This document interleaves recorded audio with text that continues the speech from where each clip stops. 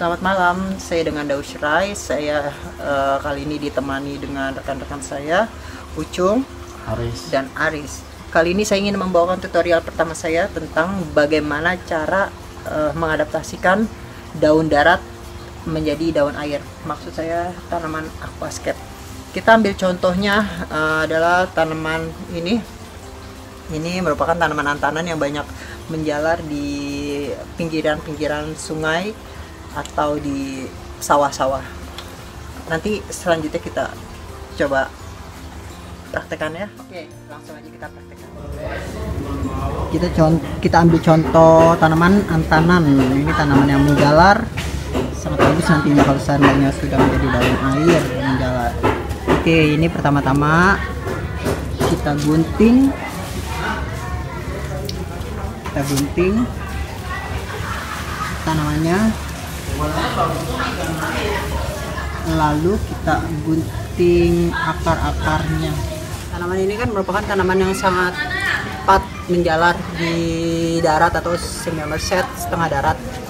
Nah untuk kita jadikan daun air kita potong beberapa ruas lalu kita bersihkan akar-akarnya akar lamanya. Fungsinya untuk merangsang pertumbuhan baru akar baru sorry untuk merangsang pertumbuhan akar baru jadi nanti daun airnya itu cepat keluar. Kita kumpulkan 5 ruas batang ini kalau untuk dijual ya.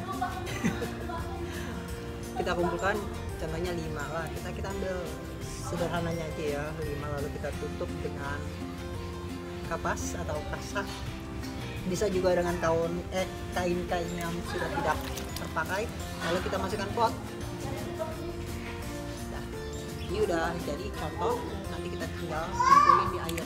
Ingat jangan sampai nggak kena air karena daun ini uh, kalau nggak kena air uh, apa namanya cepat kering. Jadi untuk prosesnya kita agak-agak lembapin ya. Ya inilah contoh uh, tanaman yang tadi udah jadi. Ini contohnya dalam satu pot kita buat 5 batang. Uh, selanjutnya kita masukkan ke dalam akuarium pelan-pelan kita adaptasikan nah coba Iya, sama. uh, dalam proses beradaptasi daun yang besar ini akan menjadi cute. Nah itu sangat cepat untuk menjadi daun airnya. Tetapi selanjutnya banyak juga yang akan membusuk. Daun-daun yang membusuk sebaiknya langsung kita pangkas dengan gunting daun yang membusuk itu langsung kita pangkas dengan gunting. Fungsinya hanya untuk merangsang agar tunas-tunas baru cepat keluar dan akar-akar baru cepat keluar kalau seandainya tanaman membusuk atau mengecil kita nggak usah takut kak. Itu adalah proses alam. Nggak mungkin kalau seandainya tanaman diadaptasikan dari proses daun darat menjadi daun air itu pasti ada yang mati. Jadi untuk solusinya adalah dengan mengguntingnya agar cepat merangsang pertumbuhan akar dan mempercepat tumbuhnya tunas baru. Dan jangan lupa kunci utamanya adalah dengan melakukan pengurasan rutin. Kalau bisa sih tiap hari dan usahakan suhu dingin di bawah 29 derajat. Nah itu untuk mempercepat tanaman kita.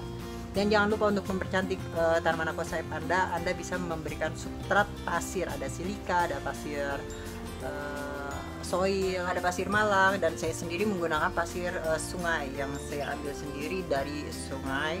Contohnya seperti yang dibawa sama si Farhan Ucum ini nah ini merupakan salah satu pasir sungai selain dengan memberikan substrat pasir-pasiran kita juga dapat memberikan ranting kayu-kayuan untuk memperlihatkan penampilan aquascape kita semakin terlihat alami dan kayu-kayuan ini bisa kita tempelkan dengan tanaman-tanaman anubias, buce atau tanaman seperti antana nantinya yang bakal terlihat rindang kalau semuanya kita ikat di sini. Jadi uh, silakan mencoba. Semoga berhasil. Semangat. Semangat.